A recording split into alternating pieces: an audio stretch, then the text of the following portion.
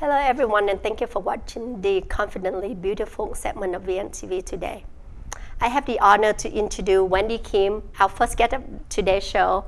Thank you for coming to our Cozy VNTV show, and, and please introduce yourself. And, and I really enjoy spending our time with you today. If you could, uh, we want to give you the kind of the Yeah. background to introduce what you want to say to our audience members about you, who you are, and what's your moral fiber. Yeah, so basically, I am an international best-selling author, mm-hmm. speaker, and transformation coach, and I'm really passionate about empowering women of color, especially Asian Amer- mm-hmm. American women, to come from behind the shadows. Yeah.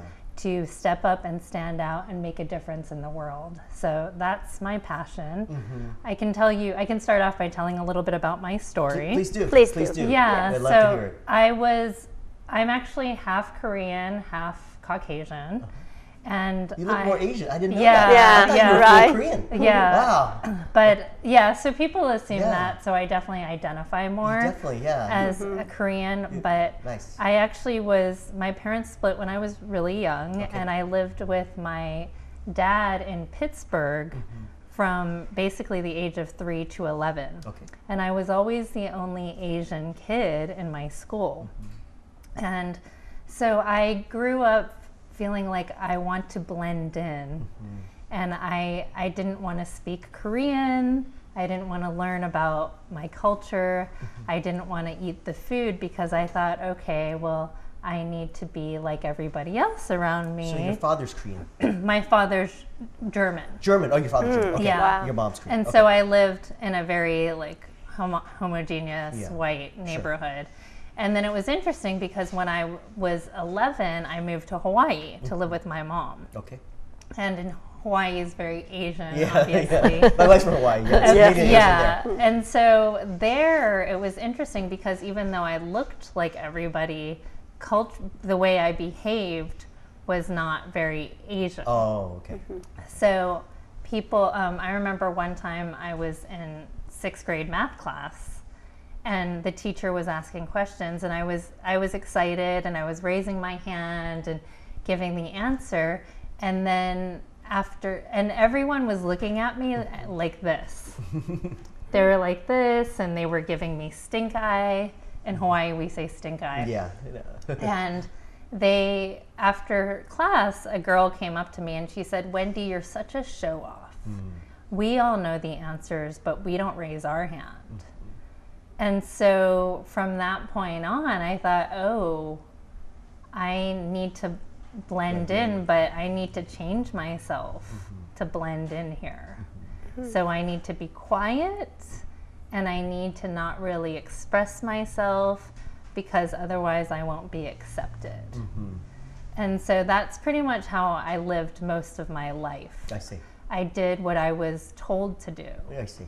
So, at, at what point did you transition into who you are now and writing your book? Yeah, You know, if you could share with the, us your journey towards that. definitely. So when I was in my mid 30s, I I know that's hard to believe. I'm I actually thought you were in your 20s. I, I don't want to hear it. I don't want to hear it. I'm, I'm 42 now. so when I was in my mid 30s, I was working for PlayStation. Mm-hmm. So I achieved some level of success mm-hmm. in corporate America. Nice. I was like a mom and I was mm-hmm. married. Mm-hmm. And then I just thought, is this is this what I want to do for the next 30 something mm-hmm. years of my life? Corporate America? Yeah, and I was Yes, like, yeah. Oh, no, I want to I Yeah. can totally relate. Really? Yes.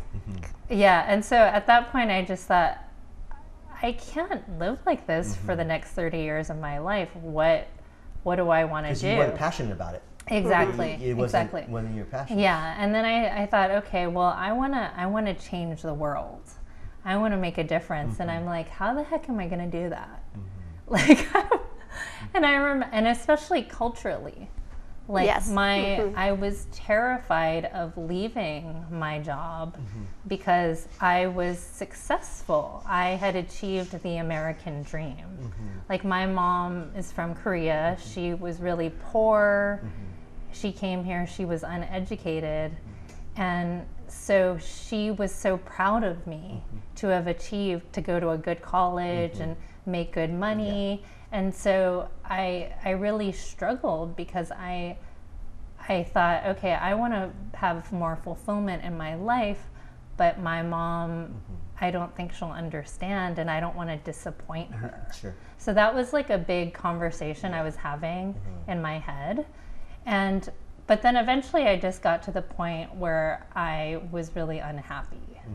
And I thought, okay, I don't want to live like this for my kids. Mm-hmm. Definitely. You yes. know, like being a mom changed you. exactly. Right. You have a totally different perspective. Yes, and I mm-hmm. wanted my my son has special needs. I wanted to be able to spend more, More time time, with him instead of working like 80 hours a week Yes. and doing email at night and things and not being present. You no longer want to be a robot Yes. or a zombie. Exactly, exactly. And yeah. so at that point I said, you know what? Like I just I need to get out of this corporate job and I I was at the time I was really interested in more in finances. Mm-hmm.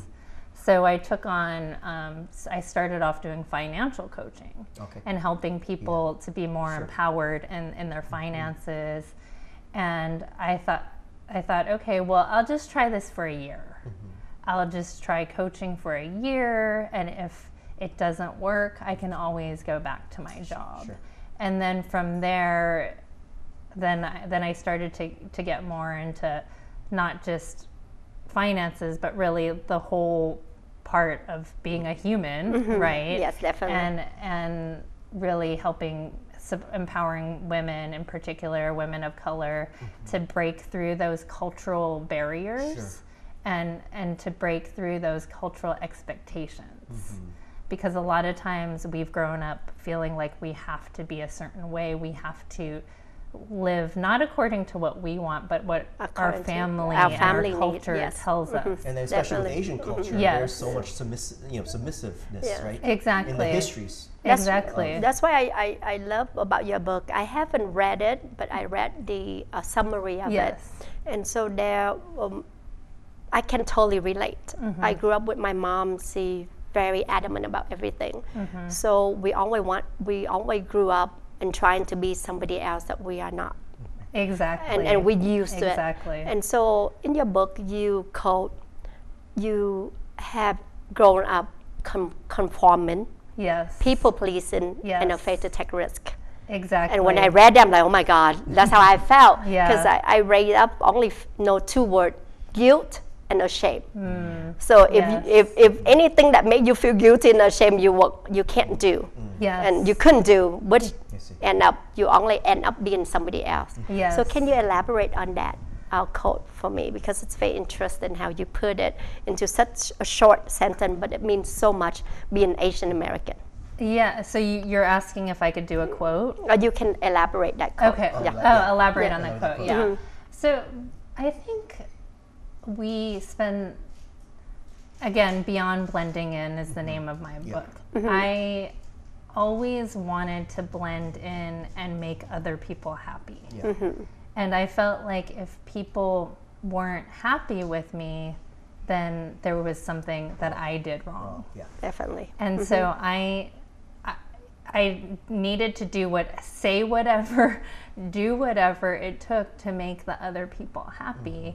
And because of that, I wasn't true to myself for You're a long Yes. a long time. I wasn't authentic Yes. because I just felt like if I really showed people who I was, then they wouldn't like you. that they wouldn't like me and they wouldn't Mhm. accept Yes. me.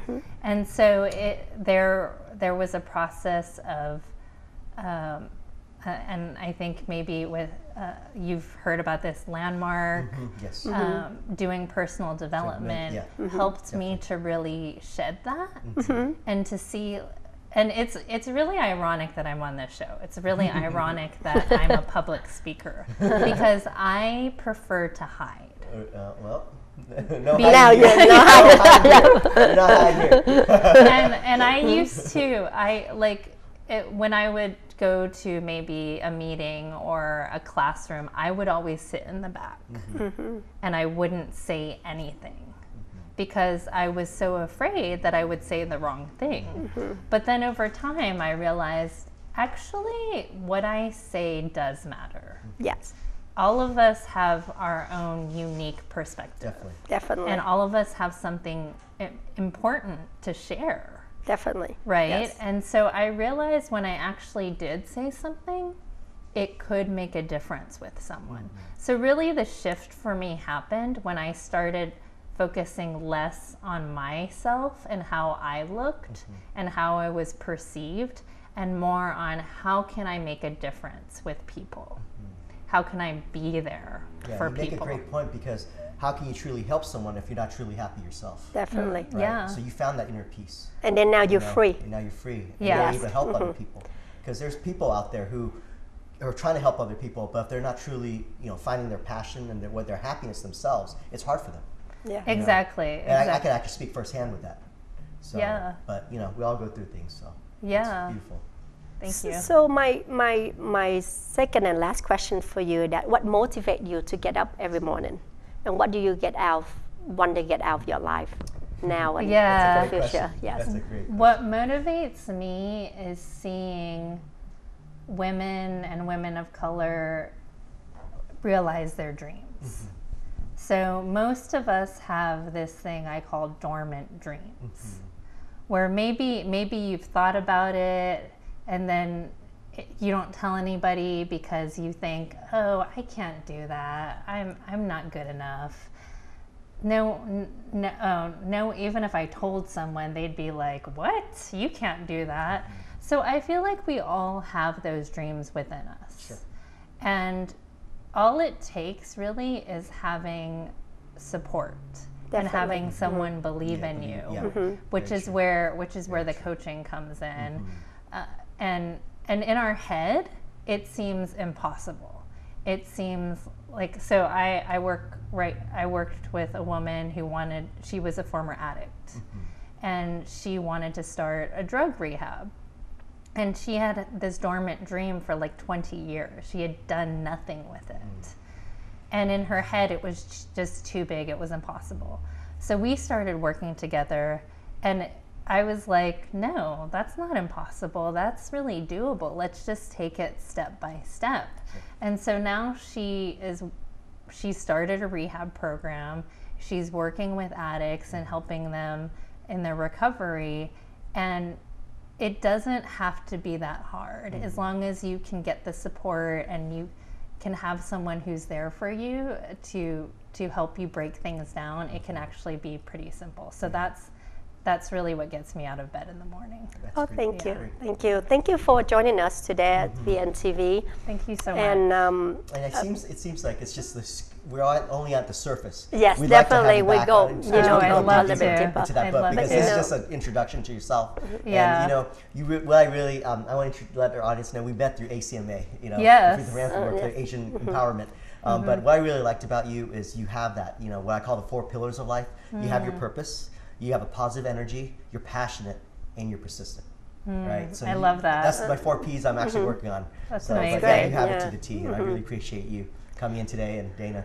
and helping- and, and us. you know when people say it's impossible Mm-hmm. the impossible within it is like i am possible Exactly. so Exactly. if, if you think it that way then it will change your mindset forever Exactly. so thank you again for watching um, our show today and i recommend highly recommend you to go everyone to go to amazon.com to purchase her amazing book beyond blending in.